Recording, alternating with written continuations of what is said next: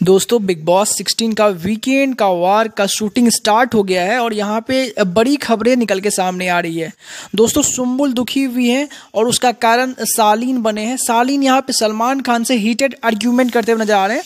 बहुत ज़्यादा हीटेड नहीं था वो, लेकिन दोस्तों, आपको बता दूँ, वो यहाँ पर सलमान खान से थोड़ी सी बहस, यानी कह लीजिए, बहसबाजी तो हो ही गई है। दरअसल दोस्तों, यहाँ पर सलमान खान बोल पड़ते हैं कि, क्या हुआ यहाँ पे? आपका गेम जो है स्टार्टिंग से लेके अभी तक किसी को समझ में नहीं आ रहा, आपकी जर्नी किस तरह से स्टार्ट हुई थी, किधर को जा रही है, किस ग्रुप के हैं आप, ये मेरे और जनता दोनों के समझ में नहीं आता। तो यहाँ पे आपको बता दूँ कि सालिन जिस तरह से कन्फ्यूज़ करके बात करते हैं, हमेशा आपने देखा होगा तो वो उसी तरह से यहाँ पे सलमान खान के साथ उनके बोलने से पहले वो स्टार्ट हो जाते हैं, जिसको लेकर के दोस्तों आपको बता दूँ कि सलमान खान भड़क जाते हैं, बोलते हैं, एक तो आप पहले मुझे सुनिए और उसके बाद कहिए और साफ़ साफ़ कहिएगा, मुँह, मेरे पास घुमाने की ज़रूरत नहीं, मैं कंटेस्टेंट नहीं हूँ यहाँ पे।